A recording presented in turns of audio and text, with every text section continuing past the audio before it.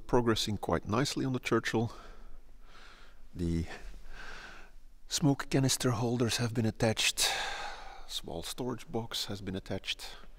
We already fixated one of the rear track guards. The other one still needs to be mounted and then we can make a start of putting on the rest of the track guards on both sides. We will still need to disconnect the air intakes so we can squeeze in the track cover on that section but that should not also be too much of a problem.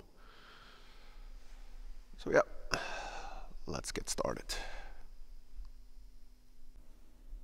And here are the track guards already painted just need to be mounted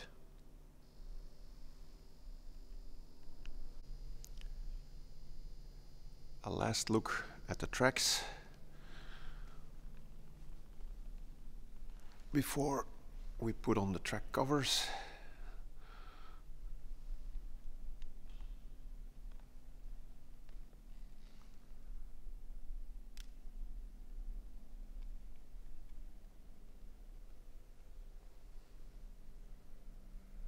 So with the air intake removed,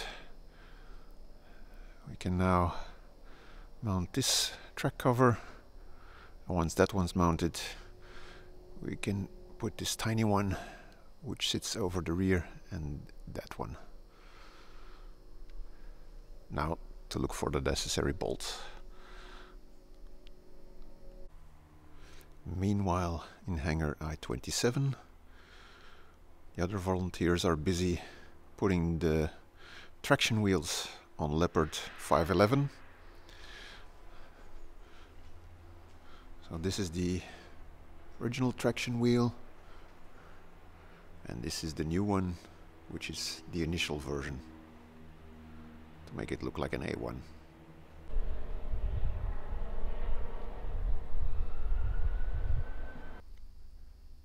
And the track cover behind the air intake has been installed.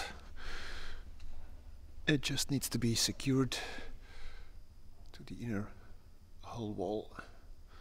Once that's done, we can put on this tiny cover that goes over the rear end and the air intake part. And here we have the former engine of Leopard 500 which we'll put here in hangar 16 to do the maintenance on it and once that one is done it can go back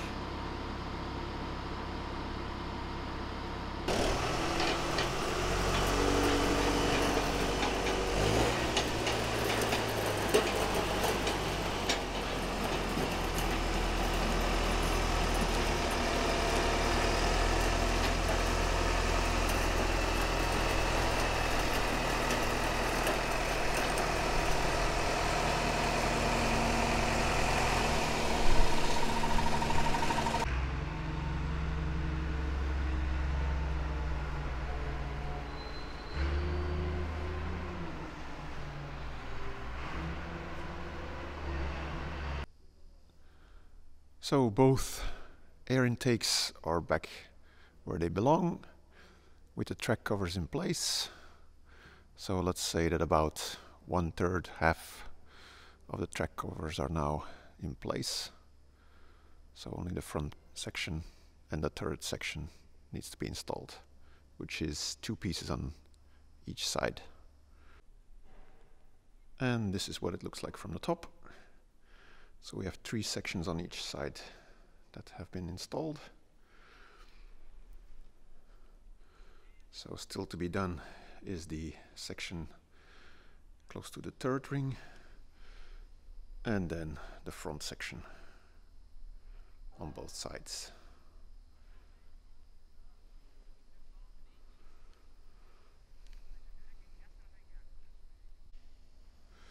So we wanted to install the front section of the track covers which needs to go in first before the section near the turret ring goes over because it actually sits on top as you can see here and here.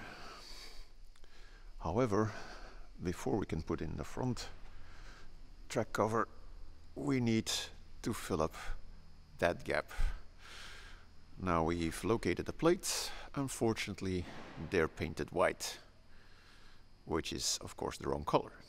So we first need to respray them before we can mount them so that'll be for next year unfortunately